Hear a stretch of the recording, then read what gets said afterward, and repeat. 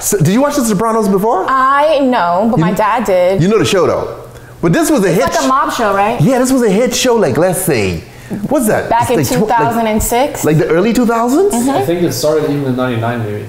Really? Okay, I thought it was the early 2000s. But it's on HBO. It's still on HBO if you want to see it.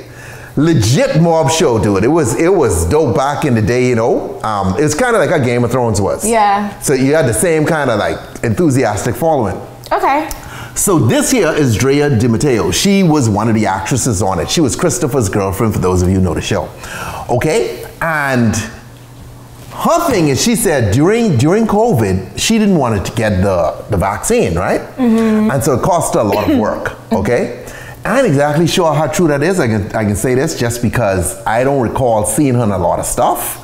So, I mean, that doesn't mean she wasn't busy working. I'm just saying, like, I didn't see her in a lot of stuff because she could be doing voiceovers and all kinds of other shit. Actors have a lot of avenues that they could work. Yeah. Anyway, so she's out of work and she was losing her house. Her house was being foreclosed on. Oh no. And then one of her moms, she has two moms, I think, okay? Like, I don't, I don't know what's going on there.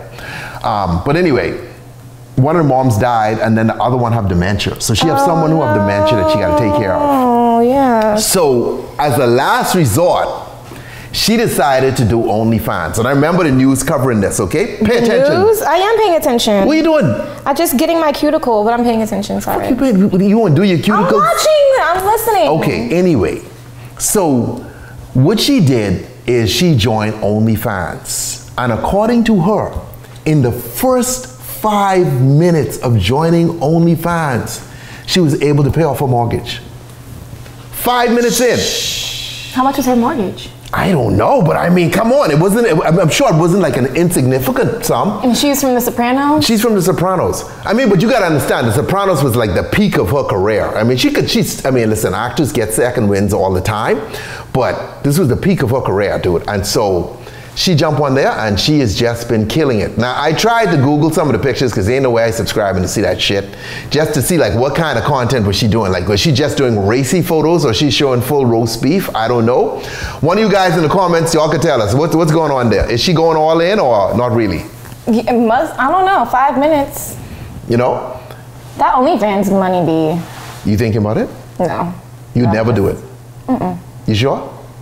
Why do you keep asking me? Because I'm just trying to say, like, I said no. if you, okay, you marry me, okay, and all of a sudden, you know, I have a bad drinking accident, okay, I fall down the stairs with some tequila, the bottle land in the wrong place, you know, and I'm seriously injured, okay, paralyzed from the neck down, okay, and I'm like, Shayla, we got to save the house. Would you show a little roast beef to pay the bills? No? You just let me die?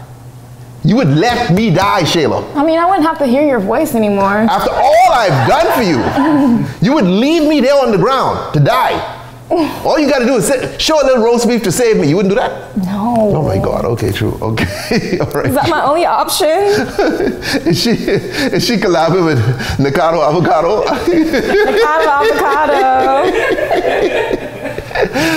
I can be honest. I can be honest. When I look at the sums that these people on OnlyFans making, I am super jealous, dude. Because I mean, they making They what making a lot of money. I mean, they some not all of them though. Most of them don't make that kind of money because there's so many girls on there, so much competition.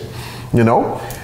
Here's how you make money on OnlyFans. Be famous already. Be famous already, like her, and then join. and then join. Or be some teacher at some kindergarten at some Christian school and then get discovered, make the news, and then you make money, you see? So, or, you know, there are ways, there are ways to go. Or you hook up with like some famous streamer somewhere. Okay. And then make money like that. Got you. You know, but the typical person just coming out like at home right now watching this, going to join, you know, it's, it's, uh, it don't, it don't necessarily work like that, you know?